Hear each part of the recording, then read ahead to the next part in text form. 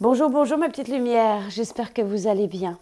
Une petite capsule pour le mois de novembre, en tout cas la première, et elle concerne donc le taureau, premier signe de terre. J'ai envie de piger une petite carte pour vous d'entrée, pour voir un petit peu ce que le monde angélique a envie de vous faire parvenir pour ce mois de novembre. Vision. Seul le regard que tu vas porter sur la vie et le cheminement Peu importe le rythme de croisière, vogue toujours vers la lumière. Vision.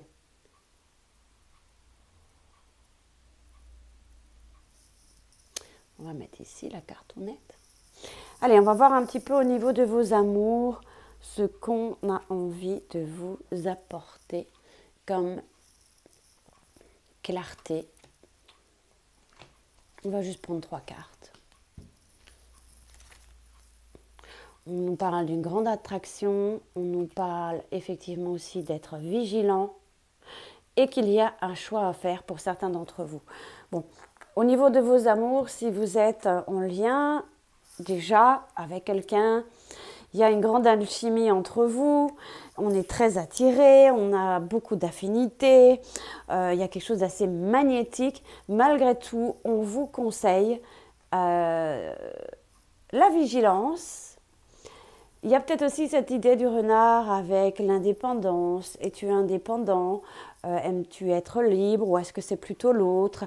On parle aussi qu'on peut être déçu euh, ou tu peux décevoir au, mois de novembre, donc euh, ou d'être un peu hypocrite ou pas forcément dans la négativité. C'est une carte qui est rapide. le renard est rapide, il traverse très vite la route, mais j'ai envie de dire très rapidement ou d'entrée du mois de novembre tu peux peut-être aussi être confronté euh, à une situation ou une personne qui n'est pas très claire au niveau affectif, qui a peut-être des mensonges, qui est malhonnête, ou alors est-ce que c'est toi? Donc euh, attention de ne pas tomber dans un piège. Euh, donc soyez vigilants par rapport à ça. Et ensuite, on a la carte du choix. Hein, oui, ou c'est peut-être même si, tu dis oui, mais pas, j'avais pas le choix, ou l'autre avait pas le choix, c'est peut-être aussi son, discours qui peut venir après. Mais il y a euh, cette carte neutre ici du, choix qui nous dit bon, bah, tu as ton libre arbitre, mais on parle aussi du destin, qu'il y a des possibilités effectivement qu'on est un petit peu dans une situation indécise, on est on sait peut-être pas quelle direction prendre. Euh, mais il y a une issue, effectivement. Donc il va falloir faire un choix en votre âme et conscience. Il y a une issue possible à cette euh, seule condition. Euh, donc faites le meilleur choix tout en gardant votre libre arbitre par rapport à cette situation amoureuse. Au niveau du travail, qu'est-ce qu'on vous donne comme information? Alors, une carte.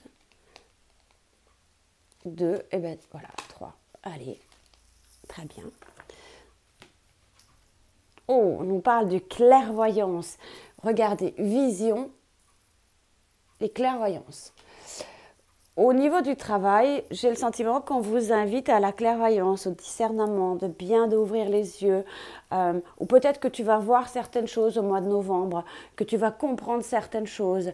Mais waouh, vous avez la carte de l'archange Michael.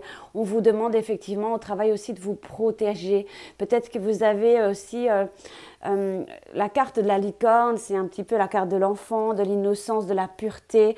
Peut-être êtes-vous un être qui est très très pur et on vous demande de vous protéger au travail, d'avoir le discernement, la clairvoyance sur les choses, de faire attention à vous. Euh, peut-être que le regard va se poser sur une situation et vous allez dire ah mais oui euh, j'en étais sûre voilà donc attention qu'on vous fasse pas qu'on vous trahisse pas ou au, travail ou qu'on vous promette des choses qui ne viendront pas.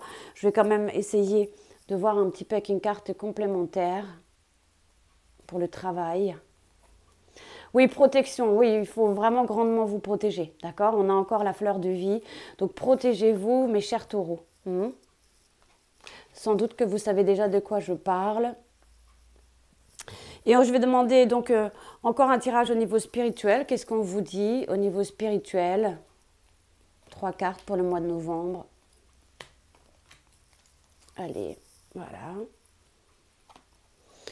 au niveau spirituel, on, a la carte du Honopono. Je suis désolée, s'il te plaît, pardonne-moi, merci, je t'aime.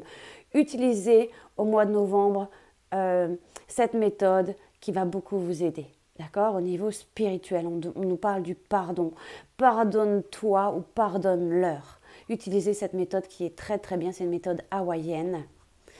Bon, on a une âme d'artiste au mois de novembre. On est dans la créativité. Euh, voilà, donc laissez vraiment euh, arriver cette créativité à vous. Il y a peut-être vraiment euh, quelque chose qui vous passionne énormément. Donc allez-y.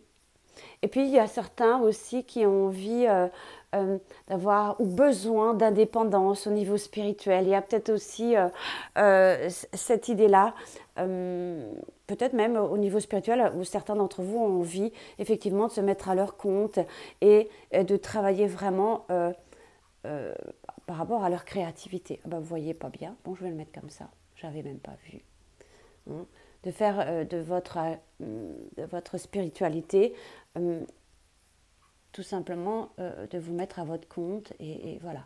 Mais il y a aussi cette idée de, de pardonner. Hein. Vous me direz, on a l'attraction, la clairvoyance et Onopono. C'est une belle alliance. En tout cas, c'est un beau, c'est pas forcément une alliance, c'est un, beau trio ici que j'ai envie de laisser. Mais pour finir, j'ai envie de vous piger une petite citation, un proverbe, un message avec Je t'offre du bonheur et de l'optimisme pour moi de novembre pour le taureau. Quel est le message? Déjà l'illustration, je vous la montre. C'est une aiguille dans une botte de foin. Et le message, nous trouvons toujours ce que nous cherchons. La réponse est toujours présente et, si nous lui donnons du temps, elle se révèle à nous. Thomas Berton. Il y a peut-être une situation, effectivement, c'est comme chercher une aiguille dans une botte de foin, mais nous trouvons toujours ce que nous cherchons. La réponse est toujours présente. Et si nous lui donnons du temps, elle se révèle à nous. Donc je pense que si vous avez une situation qui, pour, à l'heure d'aujourd'hui, n'est pas élucidée au mois de novembre, laissez-vous du temps. Elle se révélera à vous. Voilà mes petites lumières. Donc ça, c'est une petite guidance pour le mois de novembre pour le taureau. Mettez-moi en commentaire s'il y a des choses qui vous parlent. Je vous embrasse fort et vous dis à tout bientôt. Portez-vous bien. Bye bye.